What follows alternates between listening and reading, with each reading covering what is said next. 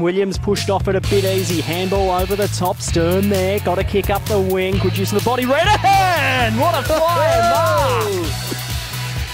Big fly on the wing. Tom Redden. Shoulder surfing. He was sitting on Ryan Davis's head for an eternity as they worked the footy forward.